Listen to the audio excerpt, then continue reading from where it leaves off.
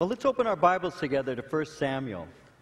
1 Samuel. We're going to look today at chapters 5 and 6, which is almost like a miracle because I uh, usually will only do a few verses, and, but today we're going to look at two chapters. As you're opening up your Bible to those uh, chapters, um, tonight we do have our ministry for those couples in who are infertile and, and uh, want to pray. It's called Hannah's Hope. It's at 5 o'clock, and uh, we invite you to be part of that prayer meeting. Then we have our evening service that follows that at uh, 6 o'clock tonight. This upcoming Wednesday, we continue our study in the Gospel of Luke. We're in chapter 24 on uh, Wednesday night, continuing and coming to a conclusion in that particular study. Uh, but today we're in 1 Samuel chapters 5 and 6. Let's begin reading together here in uh, First uh, Samuel chapter 5. I'll read verses 1 through 7 and we'll get into our study. First Samuel chapter 5, beginning at verse 1, reading to verse 7. Then the Philistines took the ark of God and brought it from Ebenezer to Ashdod. When the Philistines took the ark of God, they brought it into the house of Dagon and set it by Dagon. And when the people of Ashdod arose early in the morning, there was Dagon, fallen on its face to the earth before the ark of the Lord. So they took Dagon and set it in its place again. And when they arose early the next morning, there was Dagon, fallen on its face to the ground before the ark of the Lord. The head of Dagon and both the palms of its hands were broken off on the threshold. Only Dagon's torso was left of it. Therefore, neither the priests of Dagon nor any who come into Dagon's house tread on the threshold of Dagon in Ashdod to this day.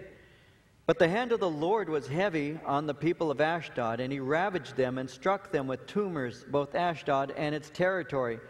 And when the men of Ashdod saw how it was, they said, The ark of the God of Israel must not remain with us, for his hand is harsh toward us and Dagon, our God. So we've been going through 1 Samuel, and as we were recently in chapter 4, we saw that the nation of Israel was battling against a people called the Philistines, the sea peoples. These are people who are living in southern Israel, normally uh, associated with uh, the Mediterranean coastline there, south of Jerusalem. And these people had gone to battle against Israel. Israel had gathered its army and had gone into uh, Shiloh and had taken the Ark of the Covenant out of the tabernacle. The Ark of the Covenant is a, a chest that represents the presence of God amongst the people. And so the children of Israel, the military personnel, came, took that particular ark, took it with them onto the battlefield.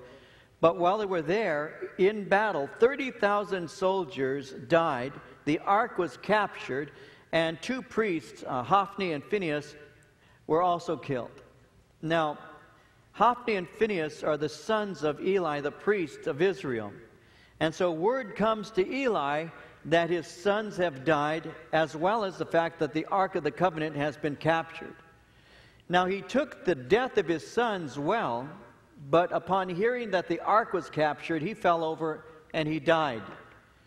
Not only that, but his daughter in law, who was married to Phinehas, who was pregnant when she was giving birth, died and named her son, whom she had given birth to, Ichabod, which simply means that the glory has departed. This is something that found its way into the history of Israel and was remembered for centuries to this day. When you read, for example, the Old Testament book of Jeremiah, in chapter 7, verse 12, God actually uses this as an example, as a warning to the nation, when he says, Go now to my place which was in Shiloh, where I set my name at the first, and see what I did to it because of the wickedness of my people Israel. Shiloh was no longer there. And he's saying, go and see that the, the remnants of Shiloh, all you have there is just uh, evidence that a city at one time had been there, but it's been devastated. And he actually uses that as an example of what he's going to do in the nation. In the Psalms, in Psalm 78, verses 58 through 64, the psalmist said, They provoked him to anger with their high places, moved him to jealousy with their carved images. When God heard this, he was furious and greatly abhorred Israel, so that he forsook the tabernacle at Shiloh, the tent he had placed among men, and delivered his strength into captivity and his glory into the enemy's hand. He also gave his people over to the sword and was furious with his inheritance. The fire consumed their young men. Their maidens were not given in marriage. Their priests fell by the sword, and their widows made no lamentation. And so this had taken place. And, and the nation of Israel has lost the Ark of the Covenant. And so what is happening is we're picking up now what was taking place. And so uh, chapter 5, verse 1 begins by simply saying, the Philistines took the ark of God and brought it from Ebenezer to Ashdod. And so they captured the ark and they took it 35 miles south from a region there in north there in Israel, 35 miles north. They took it 35 miles south to a place called Ashdod, one of their five main cities, and that's where we pick up the story. It says in verse 2 When the Philistines took the ark of God, they brought it into the house of Dagon and set it by Dagon. Now, all scholars agree that the name and worship of Dagon originated in ancient Babylon.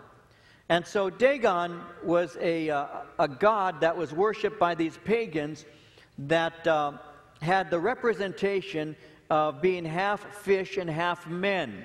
Half man. It, they say it's like a merman, you know, half fish and half man. And that was their, that was their god. This particular god's name, Dagon, means little fish.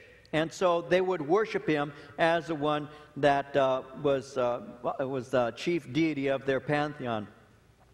He was, he was believed by them to be the uh, father of the nature god Baal. And so he was of high esteem amongst these pagans. And so what they did is they brought the ark of, the, of, of God into their temple, the temple of their fish god. And they set this ark next to the idol Dagon. Now, the reason they put this ark next to Dagon was because it was to symbolize that Dagon was superior to the God of Israel. And so they brought this ark in, they placed it in their temple next to their, their statue of their god Dagon as a representation that they had gained victory over Israel through the strength of their pagan deity. And they left him. But when they left him, notice what happened. It, it, says in verse 3 When the people of Ashdod arose early in the morning, there was Dagon fallen on its face to the earth before the ark of the Lord. So they took Dagon and set it in its place again. Now, this gives you some insight into how ridiculous it is to be an idolater. I mean, their God needed some help to get up. And so they walk in, they see it, and he's laying there, and they say, Oh, he fell over somehow, and they pick him up and set him back up on his pedestal. Now, the bottom line is this is God had brought this, this, this idol symbolically to a position of doing homage to the greater God. That was what God was saying to these people.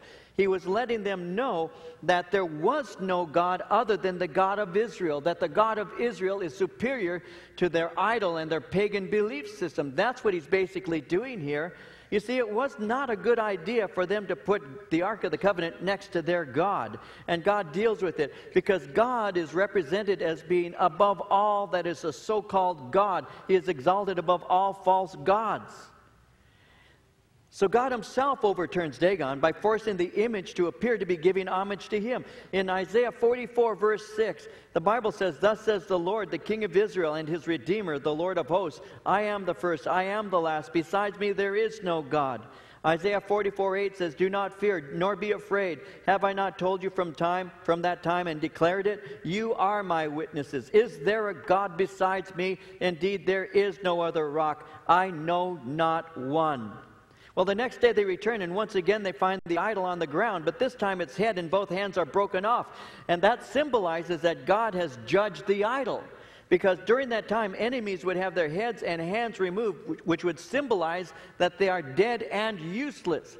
And that's why the, the head and that's why the hands have been removed from this idol. God is saying, I am victor over this. This enemy has been vanquished. I am chief. I am above. I am exalted beyond. You know, when Isaiah speaks concerning idolatry, he speaks concerning the man who goes out to the forest and cuts down a tree. He says a portion of the tree that he cuts down, he breaks into kindling and he uses it to, to start a fire and to cook his food. He says, in the remainder, he, he makes into an idol. He overlays it with gold or silver and, and he bows down before it and he says to it, You are my God. And what God is saying there is idolatry is useless. He's saying that these idols have no power, no abilities to, to, to, to help, to save, to be there in your time of need. Eyes they have, but they do not see. Ears they have, but they cannot hear. Noses they have, but they cannot smell. Mouths they have, but they cannot speak. Hands they have, but they cannot feel. Feet they have, but they cannot walk. And those who make them are like them, saith the Lord. And so he points that out and he says, idolatry is useless. To have an idol is, is a useless thing. You need the living God. And so with Dagon, he's presenting to them the fact that their so called God is, is, is no God at all. And that's what he's doing. He's, he's warning these people about that. Well, just to show you how they are, instead of them understanding, what they do is they set up a tradition. It says it in verse 5 it says, Neither the priests of Dagon nor any who come into Dagon's house and tread on the threshold of Dagon in Ashdod to this day uh, neither, they don't tread on the uh, threshold of Dagon in Ashdod to this day. They won't walk on the threshold. They actually would leap over it in superstition, in memory of the fact that at one point this head and hands were there at the threshold. Instead of repenting, instead of awakening, instead of saying, There's something wrong here, we need to hear something that's going on here. Our God is on its face. Well, this, the Ark of the Covenant is obviously being worshiped by this God. There's a symbol here that we ought to see. Instead of doing that, they just accommodate their paganism and continue being pagan. They didn't even get the message that the Lord was giving to them. But God's hand is heavy upon them. Notice what he says here. He says in verse 6 The hand of the Lord was heavy on the people of Ashdod. He ravaged them and struck them with tumors, both Ashdod, which is a city, and its territory. And when the men of Ashdod saw how it was, they said, The ark of the God of Israel must not remain with us. His hand is harsh toward us, and Dagon our God.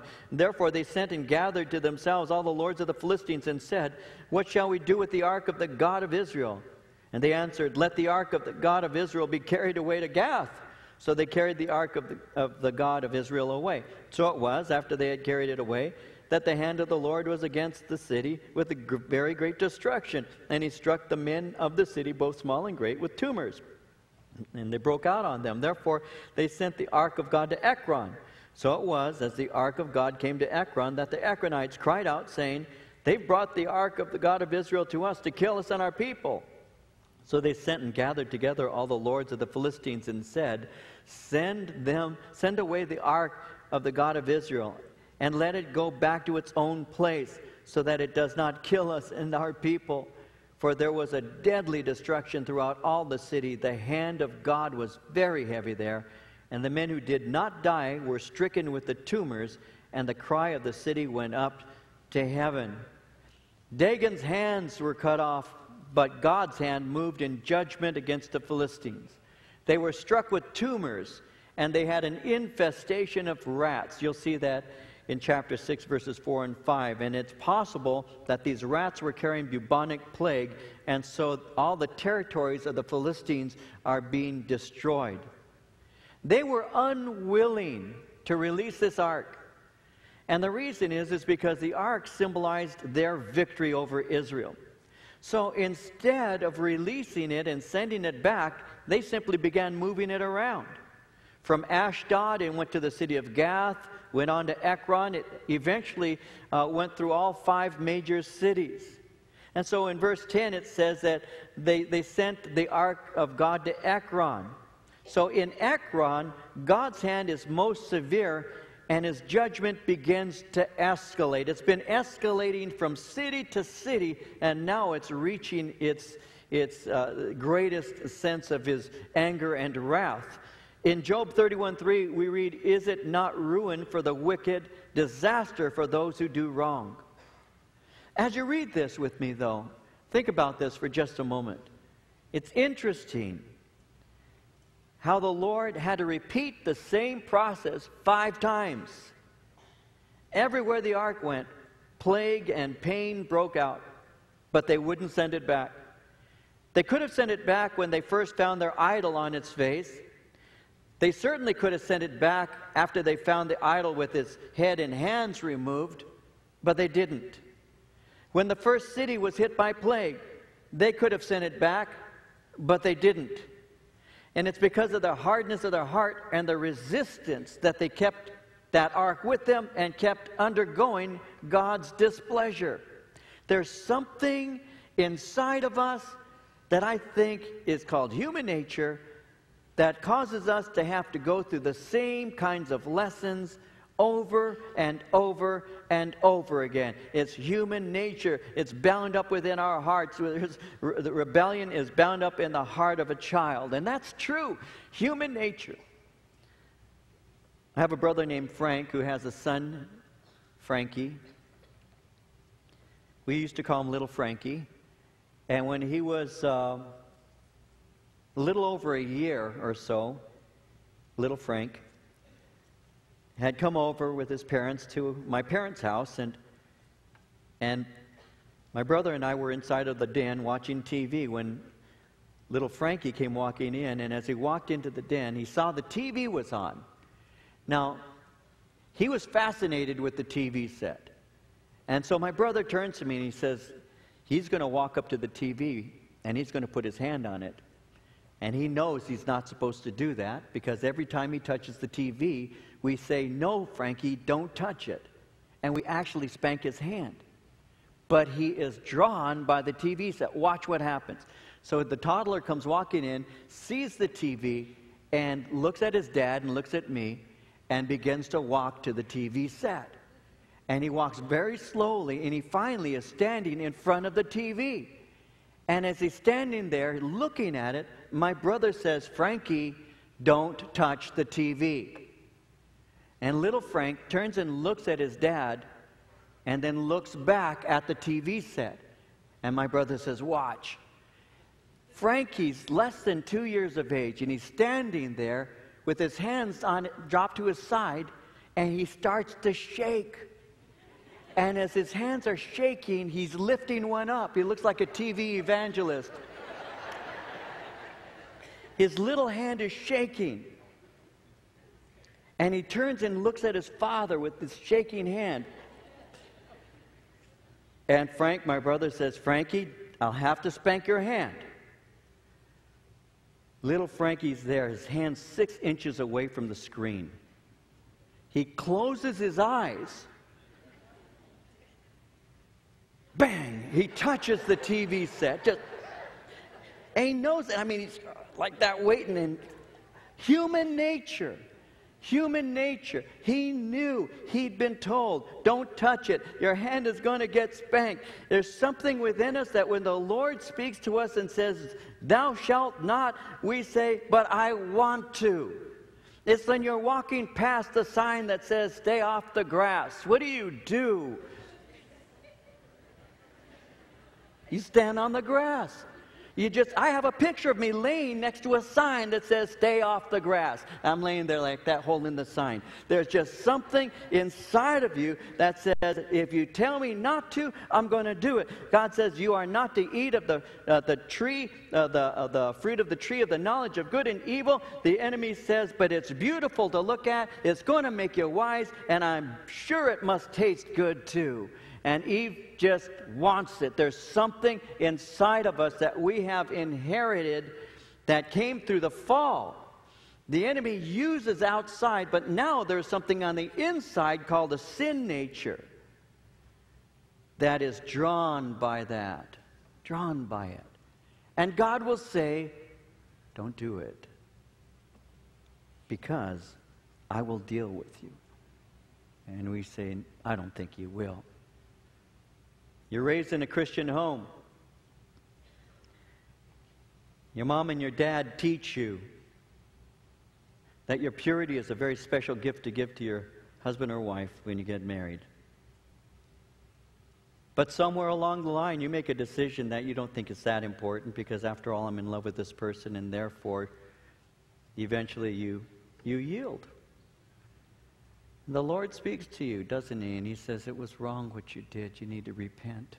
Your dad and your mama saw what you did. It would break their heart, and you know it breaks mine. But you know what? The next time it was a little bit easier, wasn't it? And then the next time it was a little more easy, wasn't it? And the Lord is still speaking, saying, It's wrong. I'll have to deal with you. The first time you were on the job site and you saw whatever it was that you wanted for yourself, and it wasn't yours, so you stole it something spoke to your heart and said to you, That is wrong. That's called stealing, and it's wrong, and you know it is. Inside, you said, They're insured. They don't pay me that much, and I need it, and they'll never miss it, and you stole it.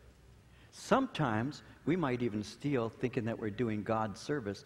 We had somebody in this fellowship over 20 years ago now, I can say this openly now, over 20 years ago, who used to make deliveries and was given cash whenever he'd make the delivery. And his wife came and spoke to us because he had been taking some of the cash and keeping it. And she said, and I spoke to him and found out that he'd been stealing from his company. And I said to him, You shouldn't be stealing from your company. But he said, I only need to steal $200 more because I'm wanting to buy a guitar so I can lead worship in children's ministry. Seriously. And I told Mike, you shouldn't have done that. You can't sing anyway. No. Uh, no, they were literally, this is a true story. I could multiply stories like that. I won't. That's just one. Stealing money from the job to buy guitar to lead worship for children, never connecting that this is a sin, even when confronted, trying to make it seem spiritual. People do that all, all the time. The first time you took that drink and your body told you this is not good, the first time you took, if you, hit, if you drank like me, I drank hard liquor, and so when I, the first time I ever drank some whiskey, you know, my body told me this is not good. You know, there's a reason that worm's dead in that bottle. This is not good. But you know what? You get used to it after a while. You can get used to doing all kinds of things. Your body tells you it's wrong. Your conscience tells you it's wrong. This is wrong. You were not raised this way. And the Lord's hand will become heavy on your life. There'll be a sense of conviction in you, a sense of where'd God go in all of this? What happened? You know, I, I pray, but it feels like my prayers are going nowhere. It's because you are entertaining, remaining in sin with no heart to, to repent. Now, even pagans, God speaks to them through this. He says, I brought my judgment on you. You need to know that there's something you're doing that I'm dissatisfied with.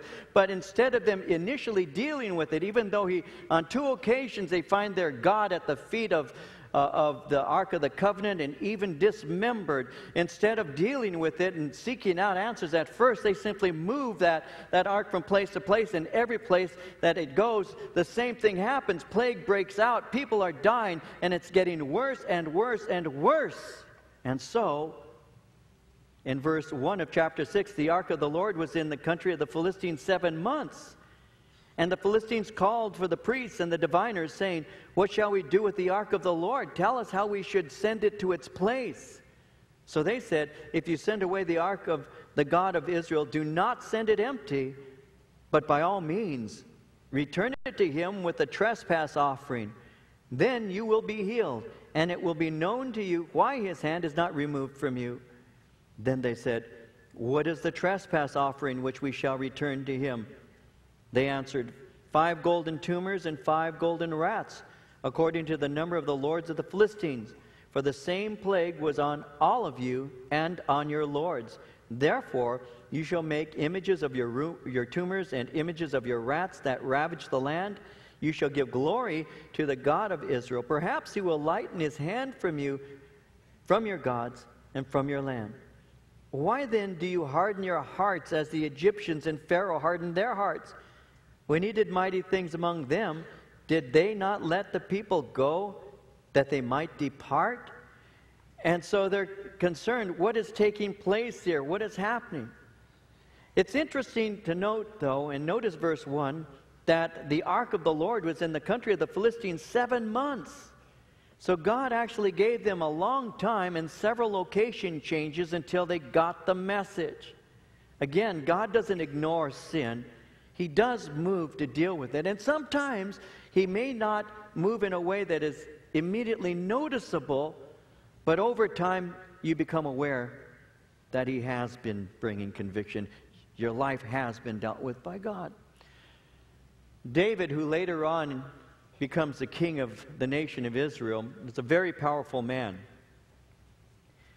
He could basically have any wife that he wanted. But on one occasion, as he was there in his, in his home, his royal home, looking down the hill, he sees a young woman by the name of Bathsheba. She's outside taking a bath. It was a time when kings went off to war, but David had remained behind and let his men go and do the battles that he should have been leading them in. He sees her, and his heart is inflamed with lust. He has her brought to him. He has a relationship with her. She sends word to him I have become pregnant by you. We all know the story of David and Bathsheba. She has a, a husband who's one of David's loyal followers, a mighty man in the military, Uriah. He brings Uriah in off of the field a couple of times, tries to convince him to go home and be with his wife so that if Uriah has relations with Bathsheba, Uriah is going to think that the baby that is conceived by Bathsheba is, home, is his. But he's more noble than that. He refuses to go, and he doesn't. He doesn't go to be with his wife. My, my, my, men are in their tents in the battlefield. You would have me to enjoy my wife in my home? I can't do such a thing. He refuses to go. His nobility that he has is so beyond anything David expected. So David sets it up for him to go be placed in the heat of battle. Troops around him are removed, and he's killed. News comes to David. This is how it's going on the battlefield, and Uriah has died. David waits a little while, marries Bathsheba, thinks that his sin is covered over. Ultimately, prophet comes and speaks to him, gives him a, a parable, lets David know that his sin has found him out, and that trouble will never leave his house. David has a son through Bathsheba, but the son dies. David finally gets the message finally does. And he writes a psalm, Psalm 32. And in this song, he says this He says, Blessed is he whose transgression is forgiven, whose sin is covered. Blessed is the man to whom the Lord does not impute iniquity, and in whose spirit there is no deceit. When I kept silent, my bones grew old through my groaning all the day long. For day and night your hand was heavy upon me. My vitality was turned into the drought of summer. I acknowledged my sin to you, and my iniquity I have not hidden. I said, I will confess my transgressions to the Lord, and you forgave the iniquity of my sin. Day and night I was withering up inside. Your hand was heavy upon me. That's what happens when you're in a, a, relationship, when you're in a relationship with sin, and, and God is speaking to you, and God is saying, This needs to be removed so that I can take my hand off of you and I can begin to bless you. And God does that work. And these people here recognize that. They knew that something was taking place. God's hand was heavy upon them. And they're saying, maybe this is going to satisfy him. Maybe this will remove his hand. And so what they do is they get hold of their priests and they get hold of their diviners. Now, a diviner uh, is one of the religious leaders. Uh, they were the ones who were consulted in all important matters. And these diviners used things like witchcraft and astrology, sorcery, necromancy, spells, dreams, soothsaying, and omens uh, to deceive the people. This particular group of people, these diviners, were people that God had forbidden the children of Israel to have anything to do with. In, in Deuteronomy 18, verses 10 through 12, God said, There shall not be found among you anyone who makes his son or daughter pass through the fire, or one who practices witchcraft, or a soothsayer, one who interprets omens, or a sorcerer, or one who conjures spells, or a medium, or a spiritist, or one who calls up the dead. For all who do these things are an abomination to the Lord, and because of these abominations, the Lord your God drives them out from before you. You are not to have these people who practice what we call today occult arts. Occultism, all of us in this room have heard the word occult. That guy's in the occult. The word occult literally means hidden things. That's what the word occult means hidden things. And the reason it's referred to as the occult is because they are trying to discern those things that are hidden from their sight. So they will use Ouija boards, they will use palmistry, they will use astrology, they will use calling up the spirits of the dead. They, they go to their mediums and, and their spiritists and all of that to try and get direction. They're trying to find out something that has been hidden from them. But God tells us the secret things belong to the Lord. The things that I revo- re- uh, reveal belong to you, your children, and, your, and the following generations after them. There are some things God says that belong to me that no matter what you do, I will not reveal to you. There are other things that I am willing to reveal to you.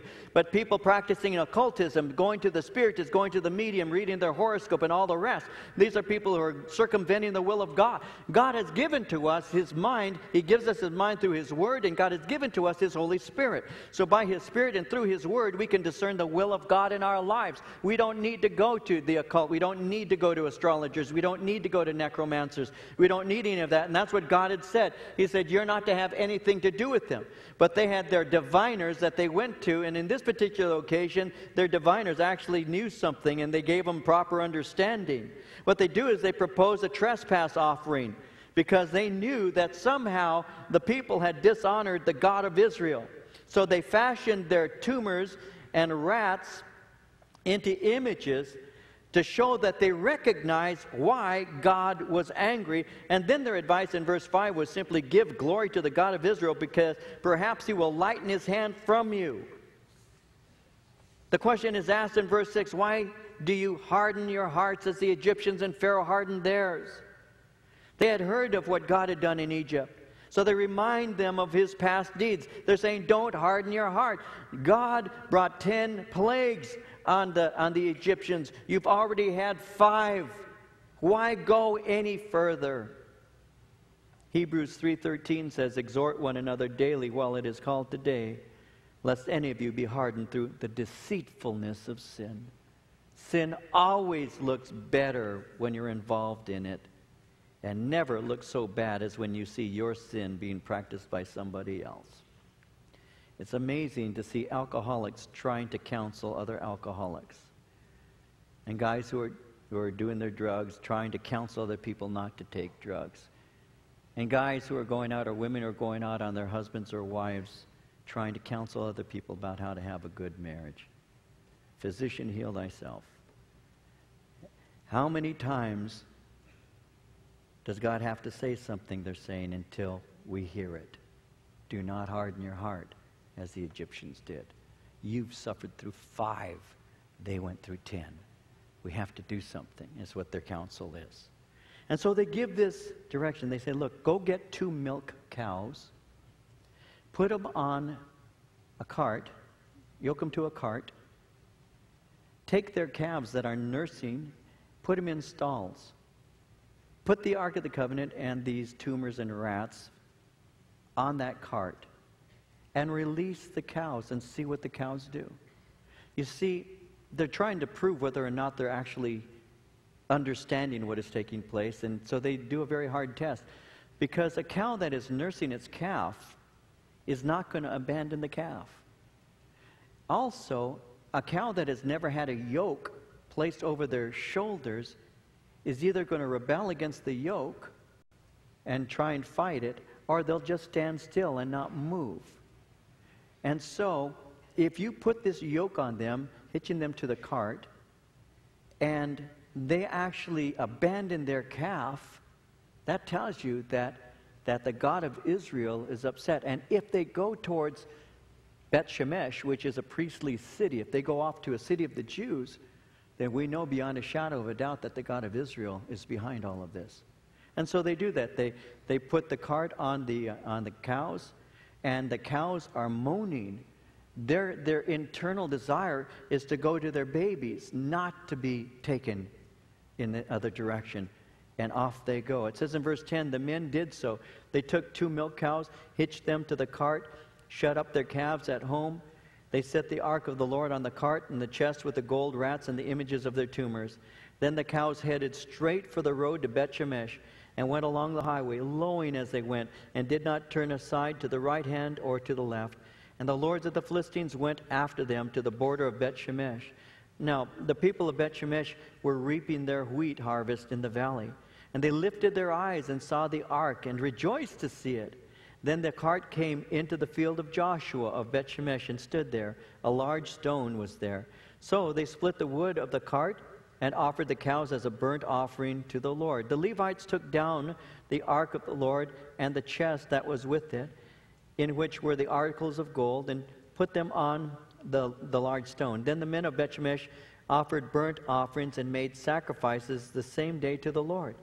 So when the five lords of the Philistines had seen it, they returned to Ekron the same day. These are the golden tumors which the Philistines returned as a trespass offering to the Lord one for Ashdod, one for Gaza, one for Ashkelon, one for Gath, one for Ekron. And the golden rats, according to the number of all the cities of the Philistines belonging to the five lords, were fortified, both fortified cities and country villages, even as far as the large stone of Abel, on which they set the ark of the Lord, which stone remains to this day in the field of Joshua of Beth Shemesh. And so, as the the cart come and he, they hear the cows moaning. The people of Beth Shemesh, being priests, this is a priestly city, rejoice because they see that the ark is finally returning. It's been seven months. And so they take the cows and they slaughter and make the cows an offering because the cow had been used for a holy purpose of carrying the ark. It couldn't be used for domestic purposes any longer. So they make it as an offering to the Lord and they're rejoicing over this. It's kind of like happy days are finally back again. And so you see them rejoicing, but something happens. Notice verse 19. He struck the men of Beth Shemesh because they looked into the ark of the Lord. He struck 50,000 and 70 men of the people. And the people lamented because the Lord had struck the people with a great slaughter. The men of Beth Shemesh said, Who's able to stand before this holy Lord God? And to whom shall it go up from us? So they sent messengers to the inhabitants of Kiriath Yearim, saying, The Philistines have brought back the ark of the Lord. Come down and take it up with you. Interestingly, what they did is here comes the ark, but it says in verse 19 that the Lord struck them because they looked into the ark of the Lord. Now, it was a chest. Some would say that, he, that they lifted up and looked into this chest, this ark, as a result of that, God judged them. The literal reading in English at least says that. The Hebrew carries an, another connotation, which could be to be looking at the ark with disrespect or no reverence. In any case, God brought judgment to them because of the way they regarded that ark. They showed disrespect to it, there was no reverence. Now, what's interesting on the one hand is these are priests who should know better. They know how to handle the ark, and they should have known better in terms of how they, how they received it and all of that. They should have had a reverent attitude, but they didn't. They had an improper attitude. The pagans, on the other hand, didn't really know anything. That's why they went to their priests, their diviners, and said, What do you think we should do? So the pagans who were living in darkness actually acted finally in a better way than those who should have been walking in the light. It's interesting how that in Luke chapter 12, verse 48, Jesus said, He who did not know yet committed things deserving of stripes shall be beaten with few. For everyone to whom much is given, from him much will be required. And to whom much has been committed, of him they will ask the more. The more you know, the more you're responsible for. The children of Israel knew and didn't act appropriately. James says, Let him who knows to do good and does not do it, well, to him it is sin. And so they knew the right thing to do and how to handle that ark and the proper way to look at it. But instead of doing that, they were disrespectful towards it. As a result, God broke out upon them and dealt with them. So they're upset. They don't know what to do. They say in verse 20, Who's able to stand before this holy Lord God? To whom shall it go from here? Let's get it out of here, is what they're saying. So they sent messengers to the inhabitants of Kirjath Yearim, which is a, a, a, city about 10 miles a little to the north, and they actually get rid of the ark. They send it up there. They removed it. They didn't seek God for advice. They didn't, they didn't seek God for direction at all in this. They simply got rid of the ark. And sometimes when the Lord deals with us, we don't repent and we don't seek Him. we just stop going to church. We just stop reading. We just stop fellowshipping with God's people. Instead of saying, God, what have I done wrong because I want to have fellowship with you? Sometimes we do the same thing. We just try and send him away. We don't want this in my life. You're causing problems, not blessings. Instead of us saying, My God says he wants to bless my life, therefore I must be doing something to displease him because I know he wants to bless me. We simply say, No, instead of blessings, he's bringing cursings. I'll just get rid of him. And that's what they did. They said, You take the ark, we have to get him out of here because look what he did to us. So rather than saying, God, forgive us, what did we do wrong? They simply try to avoid responsibility and try to get rid of the Lord's presence from them. something we can learn from. when the Lord speaks to us, we ought to listen the first time. Our Father, we ask that you would work in our lives. You have given us your word. You have given us your spirit. You've given to us wise counselors who love you, Lord, and, and know your word and, and follow you by your spirit. You've given to us provision, Lord. May we take advantage of that which you've given to us. When you speak to us once, may we hear, Lord. May we not stay in sin, relishing and enjoying it more than our fellowship with you. So I ask, Lord, that we would learn lessons even as we read through your word that will help us to live lives that are blessed by you. Forgive us, Lord, for the areas of our life that we indeed quench your spirit. And thank you, Lord, for blessing us in those areas that we have yielded. May we yield even more to you even today. Our eyes are closed, our heads are bowed. Perhaps we have some right now who need to get right with the Lord, and you know it. I want to pray for you. As we're quietly seated before the Lord, if the Spirit of God is speaking to you, saying, You need to get right with me, there are things that you, you need to have dealt with, and I've been speaking to you about them, and it's time to release and yield these things, then you need to do that now. Our eyes are closed, our heads are bowed. And if you need to get right with the Lord right now, would you raise your hand? Let me pray for you right where you're at. Just raise your hand so I can see you. Father, you see these hands and you know the reason why they're being raised to you. I'm asking now in Jesus' name that you would reach down and touch these lives. Lord, in Jesus' name, that as they empty themselves before you and say, God, forgive me, that you will fill them with your spirit, your presence. May they open themselves to you now. And I ask that you'll give them the ability, Lord, from this day forward to rejoice, even as David, when he said, Blessed is the man whose transgressions have been covered. May they have the joy of knowing that their sins are forgiven, even now, Lord. And may they walk with you from this day forward. Bless you, Lord. You can put your hands down. And I ask that you keep moving in all of us, Lord, to your glory. In Jesus' name, amen. Let's all stand. We'll close with a, a, word of prayer and with a song. Our Father, we ask that you would now move in us and through us. We leave this place and enter into a ministry field, a missions field. In Jesus' name, go with us as we serve you. And we ask this, Lord, because it brings glory to you. Bring us back tonight. Bring us back throughout the week, Lord, that we might continue in fellowship, continue growing in you. In Jesus' name we pray. Amen. God bless you.